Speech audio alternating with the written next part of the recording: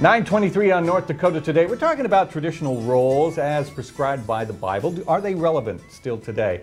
Pastor Kermit Culver from Legacy United Methodist Church is with us here to talk a little bit about this. Now, I love, I'm sorry. uh, you have one of your favorite movies is My Big Fat Greek Wedding. I love And it. there's a line in that movie that says, yes, the father, the papa, is the head of the family, but the woman, the wife, is the neck That's that right. turns the head. Any way she wants.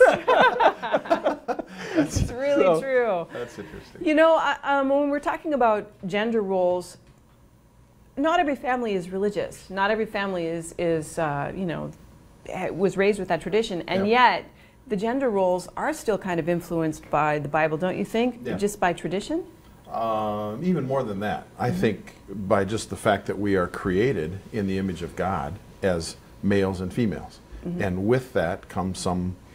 Uh, it's just part of our DNA. You think it's a natural inborn? I do, I do. Uh, so I don't know that it's so much the influence of specific religion or the Bible. It's just, it's kind of part of who we are. And yet, I think what's really exciting and interesting is how people have adapted to those inborn sort of characteristics. Um, we have a number of men in our church right now that are stay-at-home dads, and how that role is different.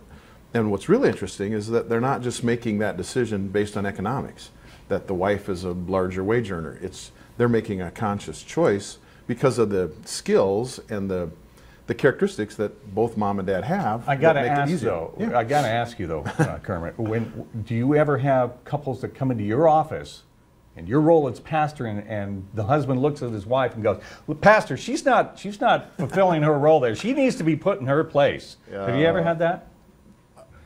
I don't know if I've ever had that, but typically, if they're at that point in their relationship, they're beyond my office. They're, they're going somewhere else. They're going to the divorce court, probably. Um, yeah, so that's a pretty extreme. But yeah, it happens, and Because really, what you're saying is that when when one tries to control the other, it doesn't work It out. just very doesn't well. work. Right. And that goes beyond gender role. That's Absolutely. a power issue. Right. and it's a free will issue. You know, that's again part of what's created in us is is our free will, and we often make mistakes with that Sure. free will. And so, yeah, this it's um, see, this is a huge discussion. And it's an interesting discussion. We It could go on interesting. and Yeah, we could. It'd be fun. But um, yeah, I don't know. What else do you want to know? I Well, know if I've answered. we got to wrap it up now. Thank Oh, you.